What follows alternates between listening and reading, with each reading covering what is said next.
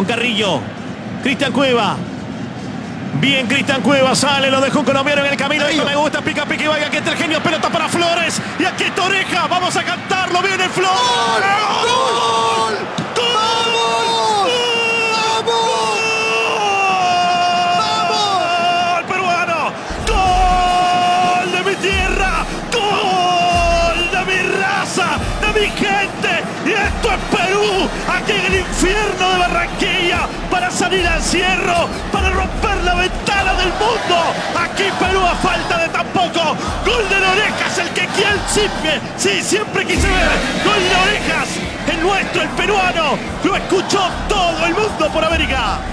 Gol Coca-Cola. Tremendo, tremendo. Aguantamos 85 minutos.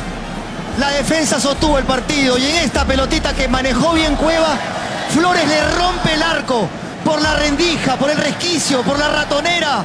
A Ospina que descubrió el palo y Oreja le pegó en ese lugar.